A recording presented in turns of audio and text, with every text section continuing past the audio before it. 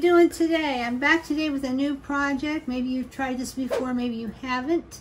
But we're going to make a long rope necklace that can be wrapped around your neck twice, but yet have a pendant on it. And that is called, technically, that's called a sautoir. S-A-U-T-O-I-R.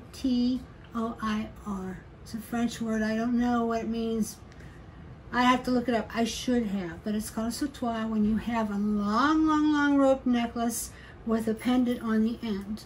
And you can wrap it around a couple times. Now back in the late Victorian and Edwardian days, women loved sautoirs. And they wore them a lot, and they left them long. They'd be hanging almost to their knees. But uh, they had the long, elegant dresses, so I guess they didn't look bad. But anyway, I wouldn't want it that long, so I'd rather wrap it. So I'm going to show you how you do that, how you plan it out. This is our project. I have it on. It's not quite done yet. Um, I'll show you, I'll teach you why I have this little bead here in the middle of nowhere. I'll show you what you can do with this pendant to make it reversible. So it's a reversible pendant. So before we do it, please subscribe to my channel if you haven't already. I would appreciate it so much if you would. And you know, that way they'll notify you when I'm coming on because we have a lot of new content coming on. You don't want to miss it. And also, if you don't mind, if you like, if you sincerely like my video, please give me a thumbs up. And if you'd like, you can make a comment. I do respond. I try to respond to everyone. So I will talk back to you if you leave me a kind comment. So I appreciate you. And come on over here and let me show you how to make this reversible pendant sautoir. Okay guys, so this is my reversible pendant on a long rope chain. This chain, if I stretch it all out, you can't even see it all. It'll go off camera. Um, but it's about 60 inches long, okay? That is actually opera length when it comes to a necklace. So it's a very long rope chain. But I mentioned that it was a sautoir. In particular, it's, you know, it is a rope chain. That's fine. You get away with that. But if you want to be particular about what it is, this is sautoir. And that's an S-A-U, S-A-U-T-O-I-R. Yeah, T-O-I-R. I think I'm saying it right because I asked Google and that's what they told me. but anyway, it's a French word. And that means that you have this pendant on one end. Now this could be a very small pendant. It could be any size you want. But there's a pendant on one end of the long, long rope. And then it enables you to wrap it around your your neck twice and adjust the length. So you could have this up close to your face and this be longer under it or vice versa, however you like. It's a really fun thing. It's a fun necklace to play with and change up. But you can change this one up even more and I'm going to show you why. This is a beautiful little kind of arabesque Moroccan style type uh, pendant beautiful. We have them on the website. I think we had a few on Etsy too. I don't know if they're still there, but you can get one from us easily. Javi will get you the link later from the website. We do have some. It's antique gold, very pretty. I put these feathers on the end of it. It kind of also gives a little bit of Native American vibe with the feathers. I don't know. I may change those out later. There may be a few adjustments I make, but I just wanted to give you the idea of it because we're going to have a challenge on lavaliers sautoirs and, and lariats pretty soon, and you could come and join us, and I'll tell you more about that closer to it. But this is a sautoir because it has a big pendant or a pendant on one end of a long opera length 60 inch necklace. Okay, so you can see I just put my sections in. You know how this goes. We've been doing this a long time, so that's why I went ahead and did it and didn't trouble you with it. Um, but what I do with these is I always measure right in the middle of the end and I put a bead or something to show me that's my middle for when I drape it around because sometimes it's hard to find.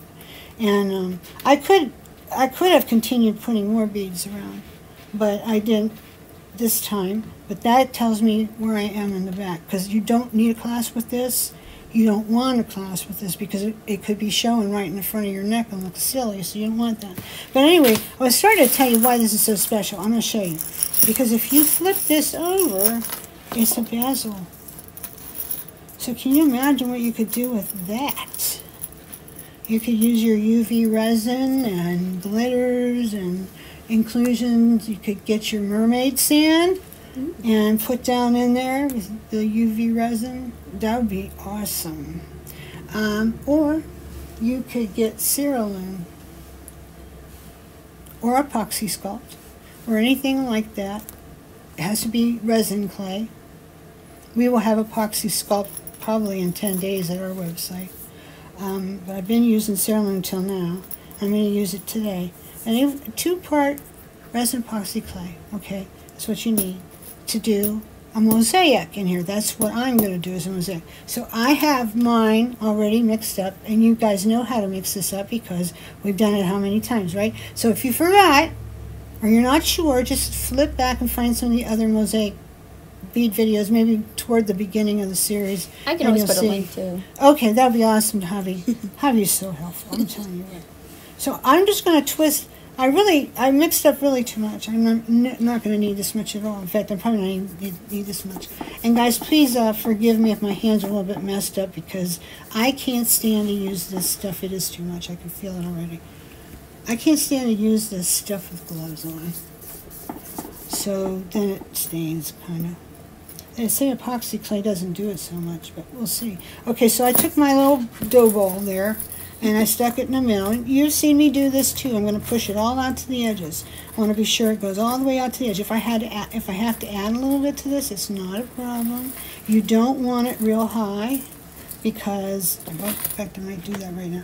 You don't want it real high because you don't want it going over the edge of the bezel like we talked before. That doesn't look nice. That looks messy. So we want to keep it away you know, from going over. And, you know, one thing that can happen is when you put your little mosaic pieces and stuff down in there, too, um, you know, they disperse the clay a little bit and they can mush it out over the side, too. It's kind of like when you put a pebble in water, then the water level goes up, right? So it's kind of that same principle. So you want to keep it a little bit shy of the very top of the bezel. But you do want to go completely to the edge. You don't want to see any of that yellow uh, antique gold metal showing anymore. It needs to be all covered up. And if this is a little bit, you know, bumpy, lumpy, whatever, uh, you can smooth that out because you do want to get it as level as you can.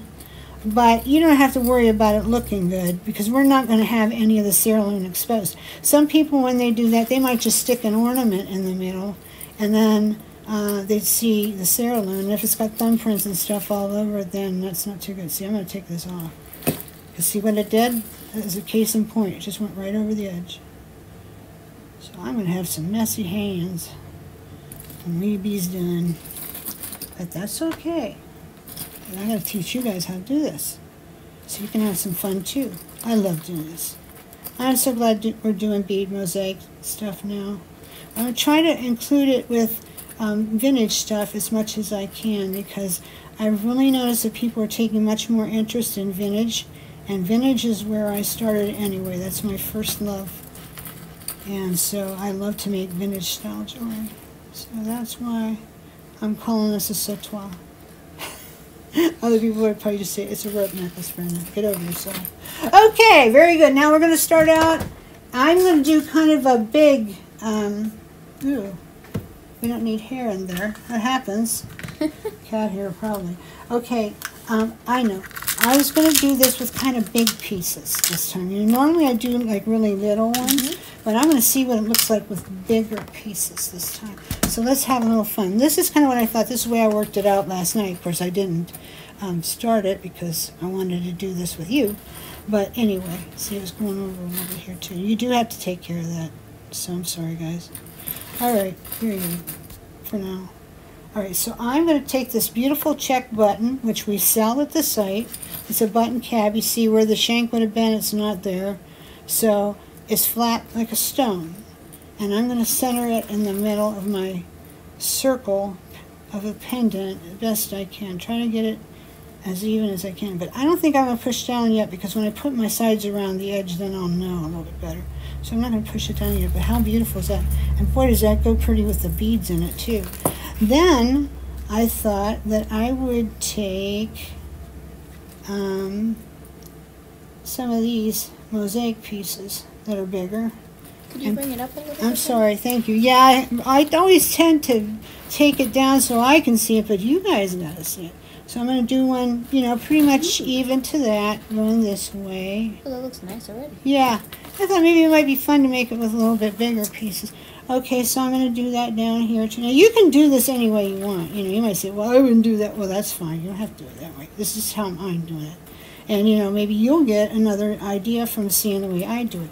I think it's pretty good for centers, so um, I'm going to go ahead and push this down. This is not very deep, but you got to get so you got to get this pushed down in the best you can because you want it to hold. But it will definitely hold for you. You will not have to worry about that after it cures. Now, it might take a little while to cure, but if you've mixed it up properly, it will cure pretty quick. I'm looking for another one. I like better. Here, I like this one better. Okay, so I'll put this here.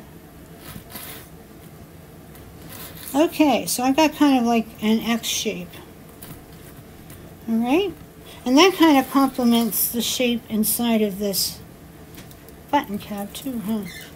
So that's pretty, so we got some Nelly Fiore beads, flat ones there. So now I don't really have it worked out, so now I'm to do some thinking now.